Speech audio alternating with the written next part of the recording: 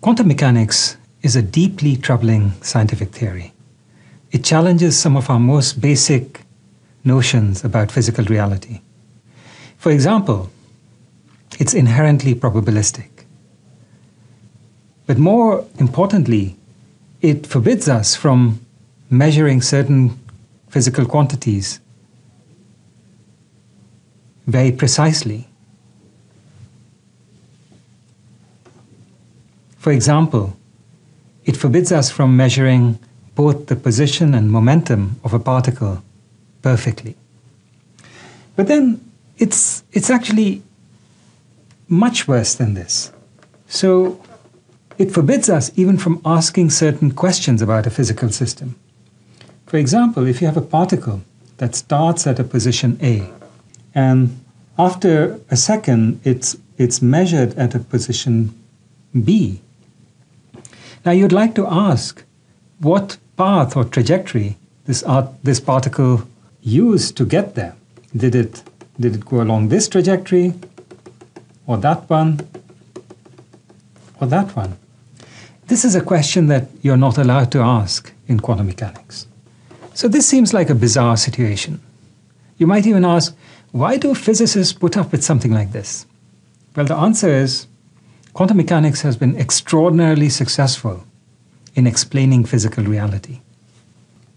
For example, it can be used to explain the conductivity of metals and the transparency of glass and colored objects and chemical reactions. And the list goes on and on and on. And so physicists have learned to live with the laws of quantum mechanics. So, what are these laws? Well, in this lecture, I'd like to talk about a very simple experiment that can be used to illustrate some of the basic features of quantum mechanics and some of the most paradoxical features of quantum mechanics.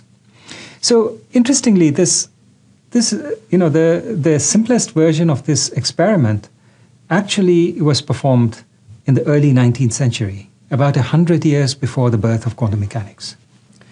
Okay, so I'm sure you know this may be an experiment that you actually learned about in high school physics. It's called Young's double slit experiment and was used by Thomas Young to establish the wave nature of light.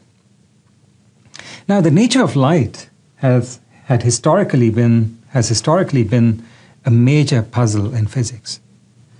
So, for example, Newton believed that light consisted of a rain of particles that he called corpuscles.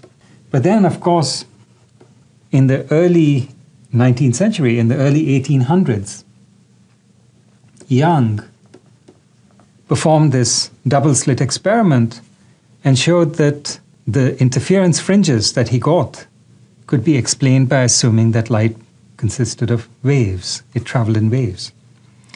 By the end of the 19th century, Maxwell gave his beautiful theory of electromagnetism, and that seemed to completely settle the nature of light because in his theory, light consisted of was was just a propagating electromagnetic wave, and so things seemed to be completely settled. But barely two decades later, there were problems with the theory. First, with black body radiation, and then with the photoelectric effect. And in quick succession, first Max Planck, and then Einstein in 1905, in his famous paper on the photoelectric effect, posited that light consists of discrete packets of energy, or quanta, and that these light quanta are what we call photons, which you can think of as particles of light. So, in a sense, these experiments seem to show that light you can think of as a rain of particles, or that they behave like bullets, where assuming that they, they never shatter, you know, the perfect bullets which, which never shatter, and you can only observe, you can never observe half of one, you can, have, or a fraction of one, you can just observe it in whole numbers. So there seemed to be a real contradiction between these different phenomena.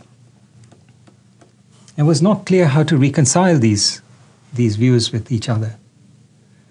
Well, a little later, a similar problem cropped up in the, in the context of electrons, which clearly seem to be particles, but then in experiments on electron diffraction, they appear to behave like, like waves. It soon became apparent that, that elementary particles seem to have a dual life. They behave sometimes like, like waves and sometimes like particles.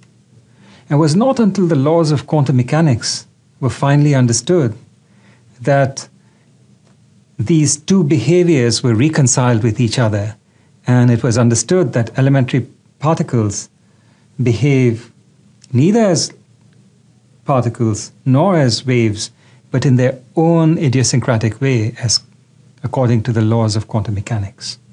This behavior is what we'll understand in greater detail in the rest of this lecture in the context of the double slit experiment.